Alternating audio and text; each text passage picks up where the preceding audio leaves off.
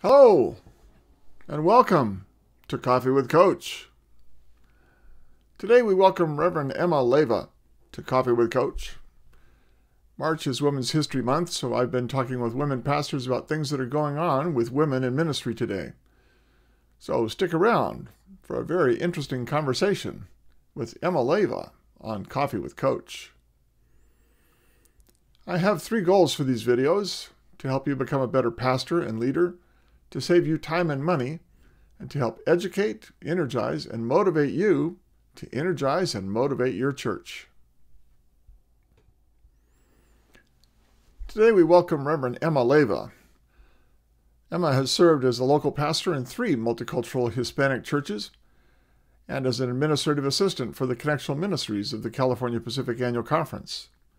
She has been actively involved with Marcha, the National Hispanic Plan, United Methodist Women, and Spanglish, a camping experience for young people to develop their leadership skills. Emma has also served as a spiritual director for Walk with Emmaus, Credo Recovery Communities in Southern California. She is the current lead pastor of the Montclair First United Methodist Church, Arbol de Vida, a bilingual ministry. Emma's many passions include equipping the saints, mentoring young leaders, hosting spiritual retreats, and starting new ministries. She is a graduate of Azusa Pacific University and a student at Claremont School of Theology. When not in ministry, Emma loves to spend time with her husband, Pastor Manuel Leyva, and their beautiful college age daughters, Daniela and Olivia. One of Emma's favorite Bible verses is With God, all things are possible, because she has seen the Lord do marvelous things throughout her life. We look forward to talking with Emma and finding out about those marvelous things. Welcome, Emma Vega Leyva. Yeah. Married lady that you are. Um, do you have a coffee cup? Yes, I do. Let me see your coffee cup. Okay. Nothing is impossible with God. I love it. But I see a Uh, tea you- bag in there. You're drinking tea. That's fine. you know, I just had a, a big cup of coffee right before, and I, I I'm trying to cut down on my caffeine Oh, good Because- girl. during this time. You know, we need a whole lot of Jesus and and just some coffee too. You know, to make it through the day. But I had my coffee this morning, so I said, Lord, what am I gonna do? And I said, I I know it's called coffee with Coach, but um, you know, it's um it's all good. You know, some of us are are drinkers and some of us are tea drinkers. So I love both. So praise God. There you go. But- You'll be you'll be happy to know that, that Bishop Oliveto was drinking tea when I interviewed her last week. Oh, wonderful. And the coffee cup I brought this morning um, says pastor, but it's a, a cup from Puebla, Mexico. Wow, beautiful. So, So, in our, all of our um, Hispanic and Latino brothers and sisters, we salute you. Te honramos y te bendecimos en el nombre del Señor. um, so thank you for the blessing. Yes, Amen. So Emma, Yes. tell me about your ministry. Now you're in Montclair, and and you're doing Arbol de Vida. So what Yes, is what Arbol- is what is Arbol de Vida? Árbol de vida is in Spanish. It's translated tree of life. hmm tree of life. And I think that is so uh, beautiful. It- It reminds me of the psalmist in, in chapter one, you know, describing us that, you know, that that we are by those living waters. And and more than ever, we need to be grounded in the word, grounded in in his presence, grounded in and and and his love to really be able to be nourished and strengthened um, during our during our walk with God and with one another. So it's it's I love that image and I love the symbol of us uh, being just at the right place at the right time, which is where where God is, where we can be fed, where we can be quenched of our thirst. And so that is um, our ministry called Montclair First United Methodist Church, Arbol de Vida. Emma, what inspired you to enter the ministry? you know, when I when I read that question, I just laughed because the truth is is that I always purpose in my heart never I would never be one of those you know those pastors those those ministers I I, you know, there's certain vowels sometimes that we we say to ourselves well, we we never really um, realize or subconsciously like, I will never be like my mother, and then you end up being like your mother, or, or I will never do that, or you know, and and you you you know you start saying that, but I I I honestly, you know, I I I never saw myself of being in the ministry. I was perfectly content. I'm serving God as a lay person serving God in the business sector, you know, in the marketplace. And I was totally uh, happy and blessed and and and and and just content, really, of being able to sow in the kingdom of God. So, to answer your question, I never I never was inspired to enter the ministry. I was I was just always in the, supporting the ministry, you know, in in one fashion or another. And uh, it was not until actually um, I attended one of our United Methodist Women's conference events that I I I was able to meet uh, a reverend, an ordained elder in the Methodist Church. Her name is Reverend Gwen Ehrenberg. Mm-hmm. Um, she is now a retired United Methodist elder. She was led by God to gather women in ministry. She was actually the first person who spoke into my life, and she shared with me God's heart for me. And so she happens to be the founder of Supporting Women in Ministry International. And she's the one that pointed out the gifts and graces, which I myself was not even aware of. And she just straight up told me, Emma, you're called to preach. You're called to preach. And I was shocked. I was- Did you anticipate difficulty in the process of entering ministry as a woman? You know, there's there's many layers to that. Um, and and it's and when and of course you can never fully anticipate you know uh, what you may encounter especially any opposition or difficulties. You know i i went to god. Honestly i just i just i was just i just laid it all down and i said god if this is not from you i'm going to crash and burn and hmm. everyone's going to see. Okay? Because i just need to know is this really from you? Because you know there's I, I believe there's three kinds of pastors. There's ones that that God calls, there's one that the people calls, and then there's one that, that call themselves. And I said, God, I, I don't want to be one that calls themselves. I don't want to be one that, you know, that the people wanted their own king. They they they picked Saul, you know, and we we saw that didn't turn out so well, you know. And I said, I want to, if if you're calling me, I need to make sure this is really from you. So of course, I I wanted to make sure, God, am I really called by you? Is this is this really from you? Because you know I, I, I was just like Moses, giving him all my excuses, all the reasons why I I'm not qualified. You know, I'm not the right person. God, look at and I gave him a list. I don't want to do my will. I want to do your will. You know, what is your will for my life? And and and I want to make sure that I do this for the right reasons. Uh, and so I just I just wanted to be very careful and cautious because I've seen it from both sides remember I was on the outside looking in and and I saw um, what how they treated pastors unfairly. I saw uh, some lay people how they they were just mean, you know, mean to pastors. And I said, wow, you know, um, there there's no reverence, there's no honor. And I and I just said, God, I, I really need to make sure this is from you. But you just have to just be um, grounded in prayer and, and asking God, what is my assignment today? See, Jesus didn't heal everybody, He didn't go everywhere, He didn't do everything. You know, it was like He was always asking God, who is my assignment today? You know, and so that really uh, gave me a lot of peace. So even though I didn't know what to expect, I knew that I could always go to God and say, God, what do I do? What difficulty did you encounter when you actually began in ministry? And do you think that was because you're a woman, because you're a Latina, uh, or just because the churches you were serving were difficult churches? What difficulty did you encounter initially in your ministry? Well, there was a, there was many difficulties. There was many difficulties. You know, uh, the already entering, you know, the appointments. I I already saw and it was it was um, I was informed clearly in writing of of what priorities I should I should um, be focusing on because each of the churches, you know, they had they had some serious problems. They had serious financial problems, serious internal um, uh, difficulties. Uh, leadership was was sparse. Uh, resources were scarce, and basically these were churches either that they needed to be turned around or closed down.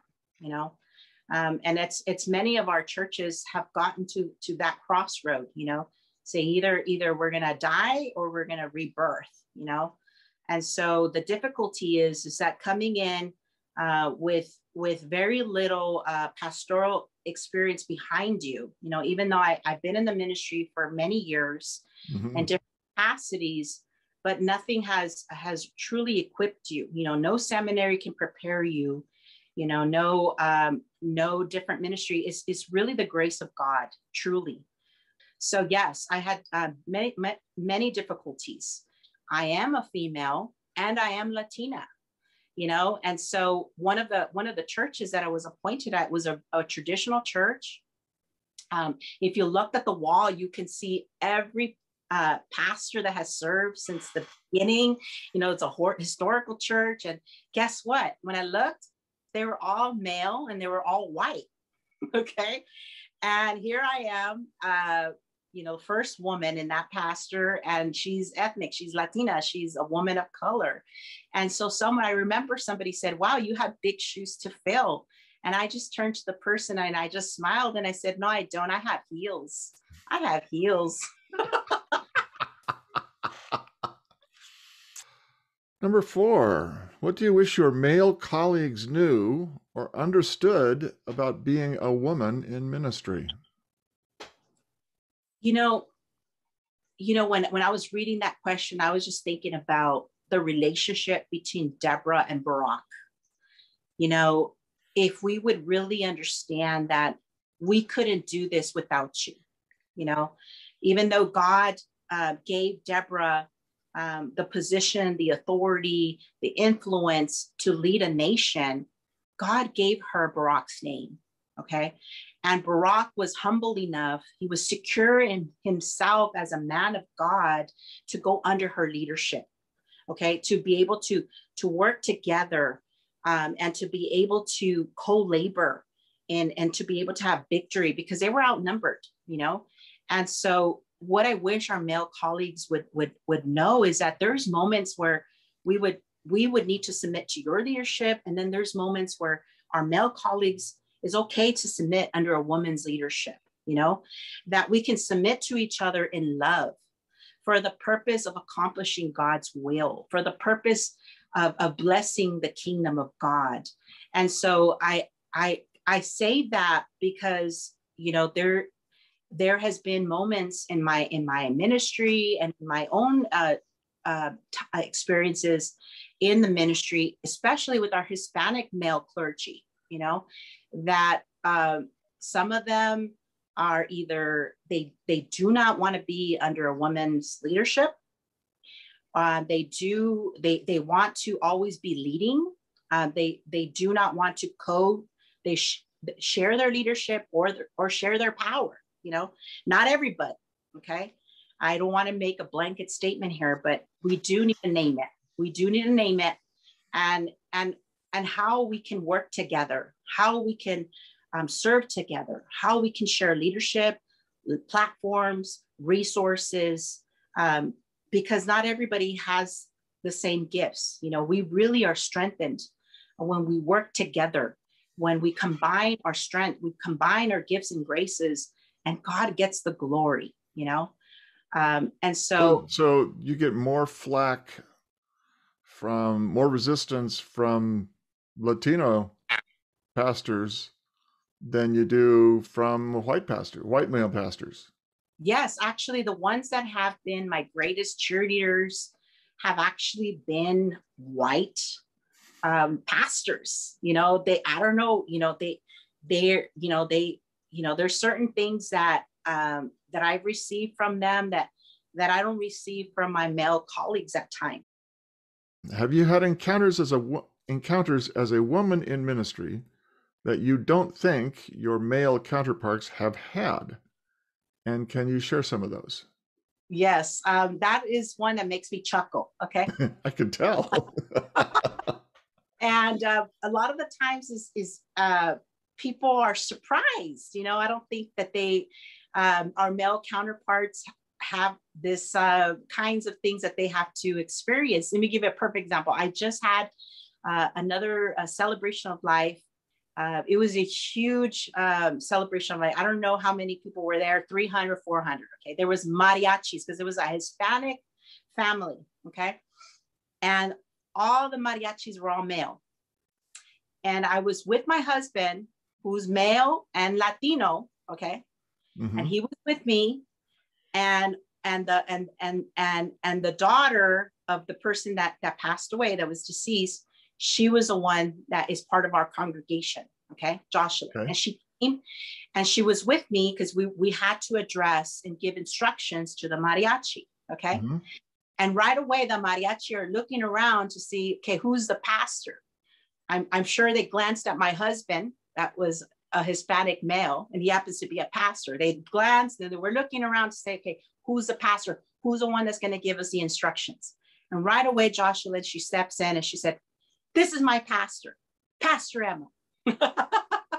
and so right away, I, I, take out my hand and I, I said, Dios te bendiga. Soy la pastora Emma para servirle. I shake out my hand and I say, you know, I'm I'm Pastor Emma here to be at your service. And they're shocked. they're shocked. And and so uh, not everyone has had uh, experiences with a female clergy or clergy women. And so that one i, I had to like hold it in because not because this was a solemn um, occasion you know you have to put on the, the pastor uh, outfit. You know i even had my clergy collar and everything you know. I had to be the pastor. But it was hilarious. I i got a kick out of it because you should have seen him. Tell. like what? A woman pastor?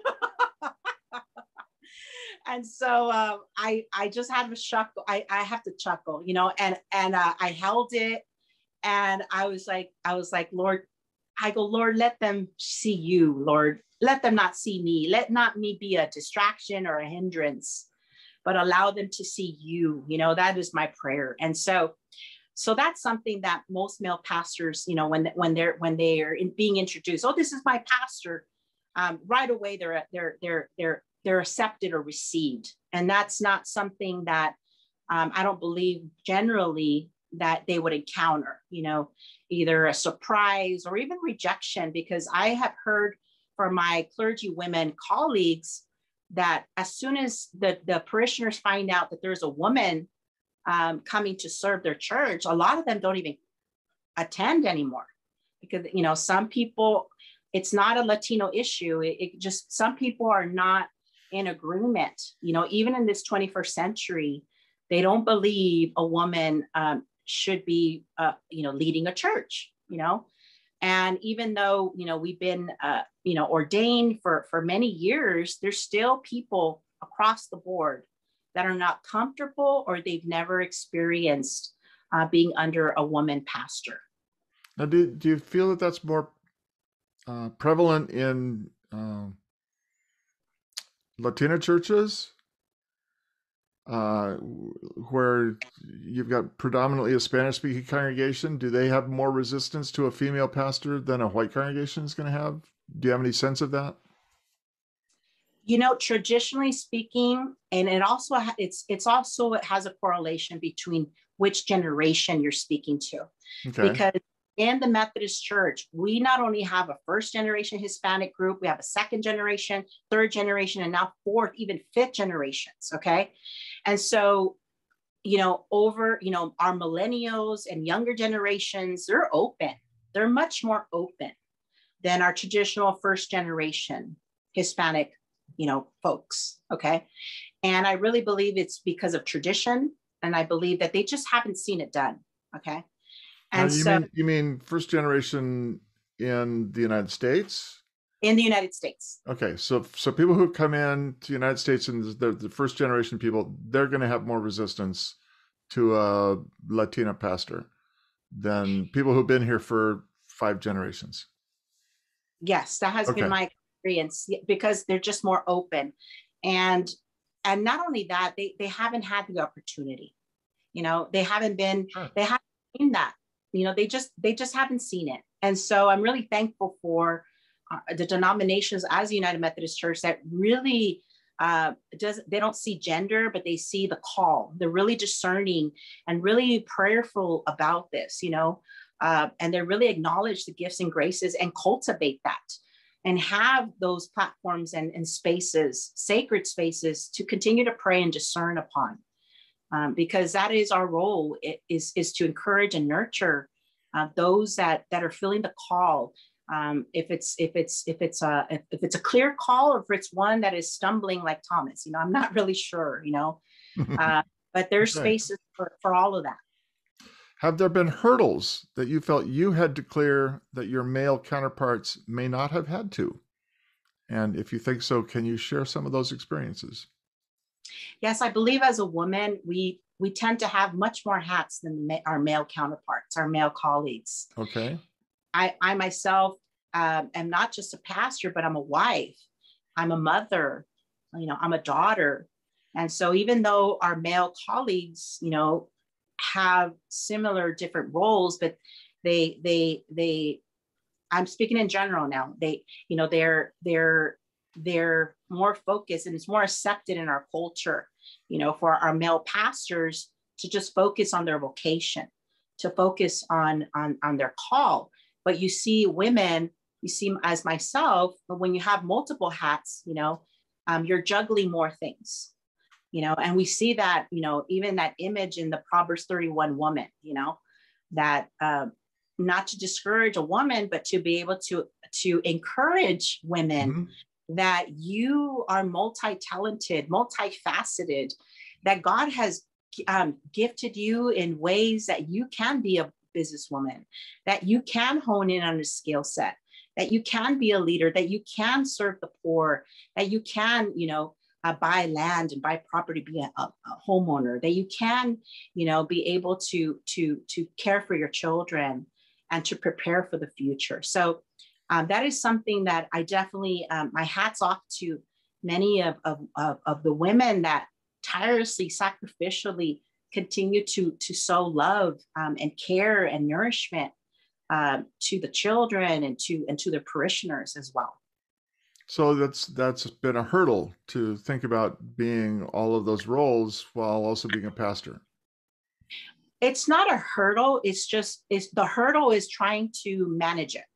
The hurdle is trying to balance it.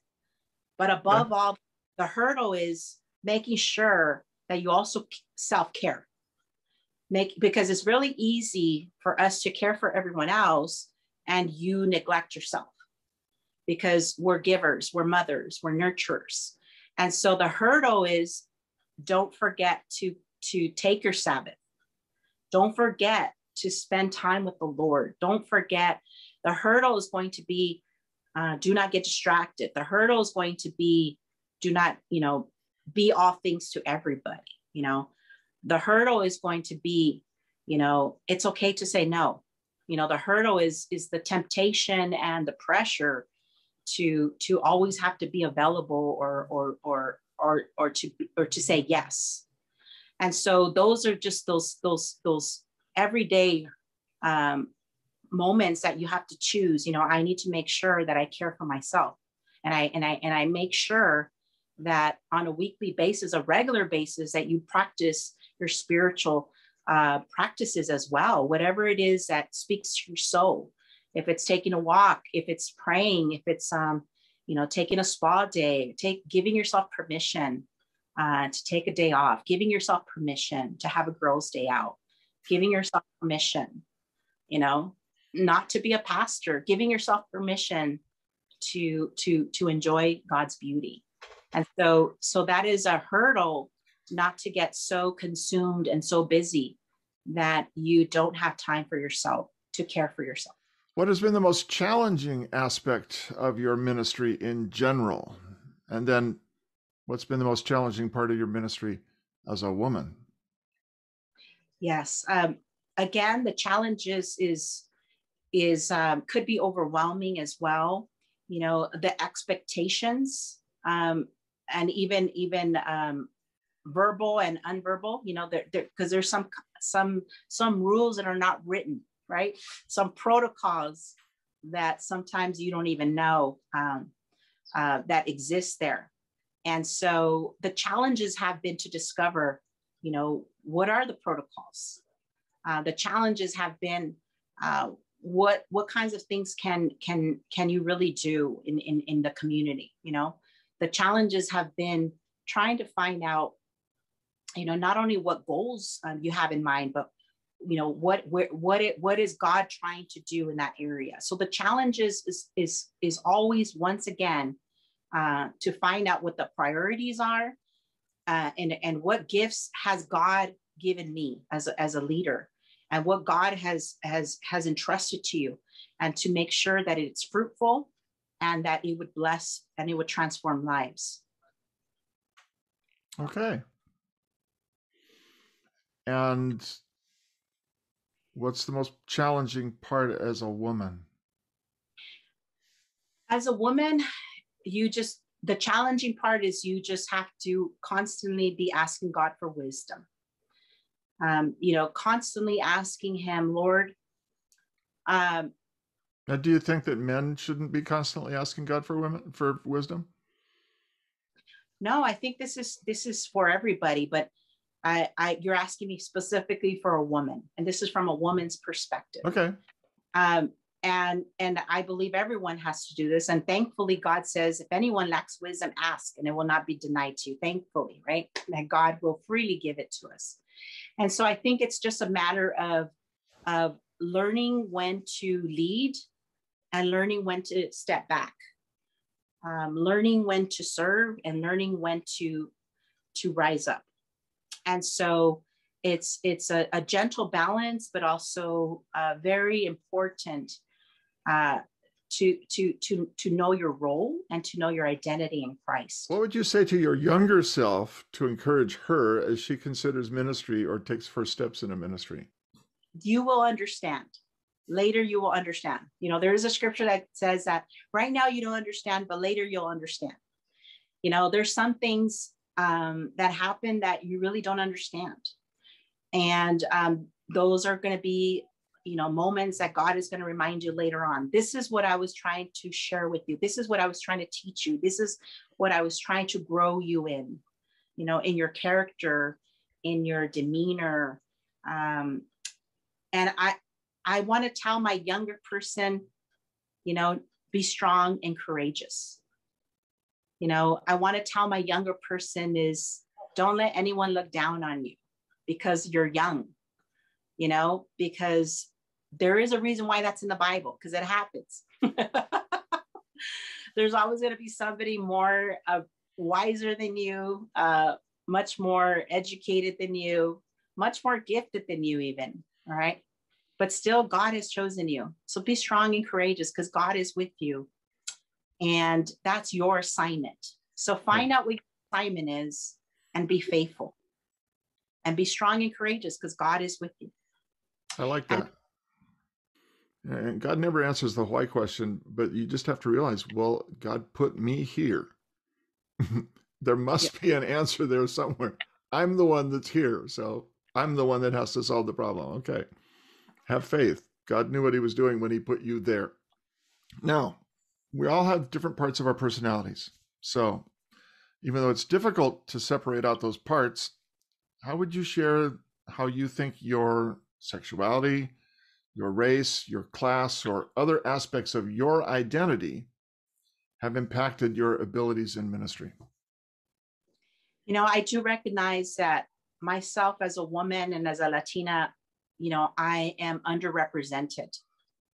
Uh, I I look at the statistics and, you know, we're talking, you know, nationally, we're we're we're talking, you know, we're we're we're a very minority group okay uh, local pastors and also ordained elders and also bishops. We only have two Latina bishops in our denomination. Okay. Mm-hmm. And we we we we see very few Hispanic women in leadership.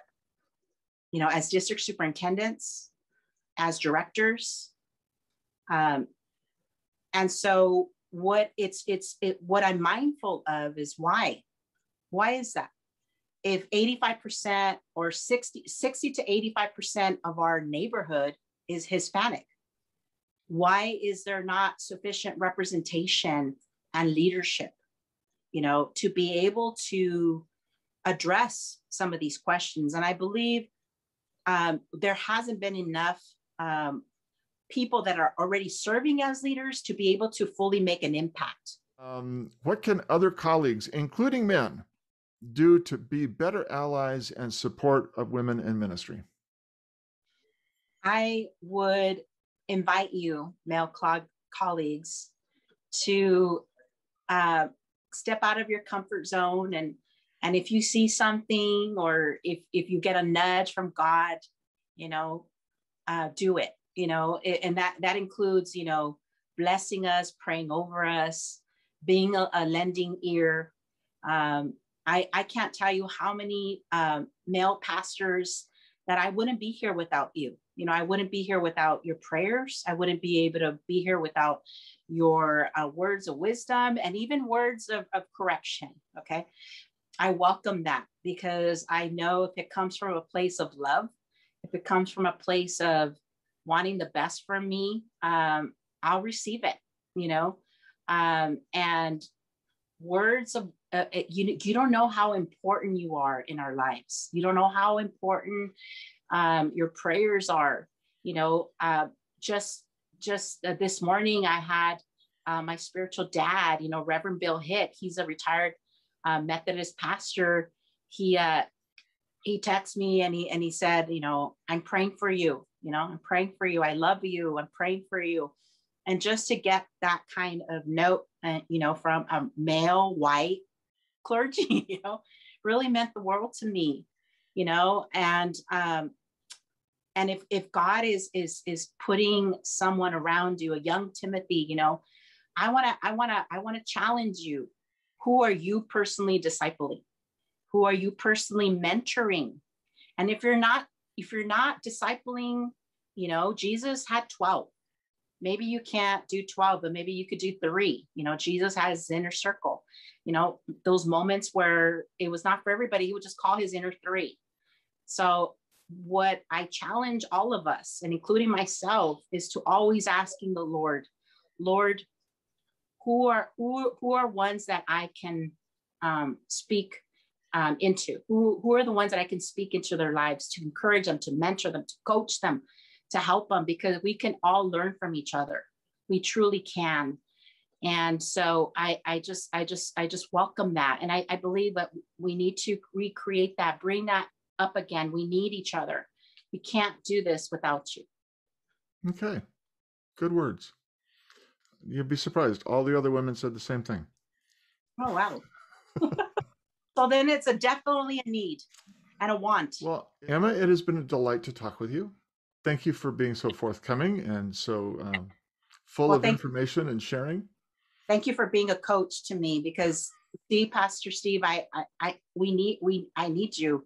Like you, thank you for helping me walk through this because I know I was nervous and, and, and you just, you just sense the pressure, you know, that thank you uh, for um, your encouragement, for your words of wisdom and, and for blessing me, um, you know, in my own personal life. Thank you.